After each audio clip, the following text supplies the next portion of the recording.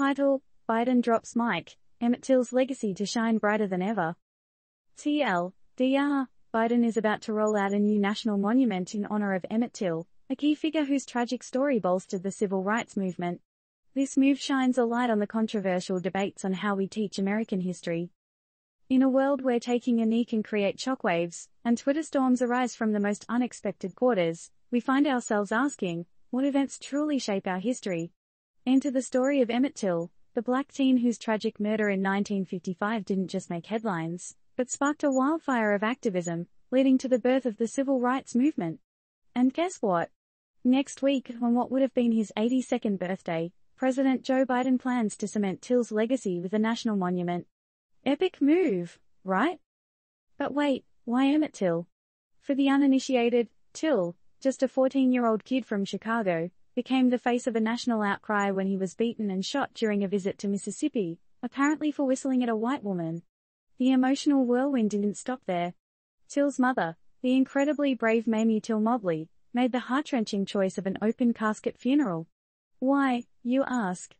so that the world could see the horrifying effects of blind prejudice and racial violence. So, where's this monument going to be? Well, parts of it will be located in Illinois, Till's home state, and parts in Mississippi, where the tragic event occurred. It'll encompass three poignant sites, the Roberts Temple Church of God in Christ in Chicago where Till's funeral took place, Graball Landing in Mississippi where Till's body was found, and the Tallahatchie County 2nd District Courthouse in Sumner where, brace yourself, an all-white jury acquitted Till's murderers. All this monument talk might seem just a tribute, but hold on to your hats, it's more than just that. The move ties into the current buzz about how we teach the uncomfortable and painful parts of American history in schools. Some states seem to be playing the let's not offend anyone game, setting standards that many believe wash down the grim realities of slavery and racial violence.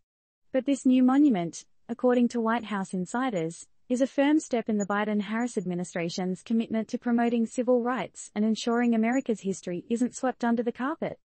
Now, it's time for some real talk. Given the tumultuous backdrop of debates on education policies, like the ones in Florida that kinda sorta suggest that slaves had some perks, and that there were acts of violence against and by African Americans, isn't it high time we started having more open conversations?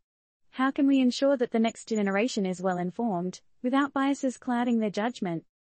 So, the real question here, do national monuments like this pave the way for change, or are they just symbolic gestures? What's your take?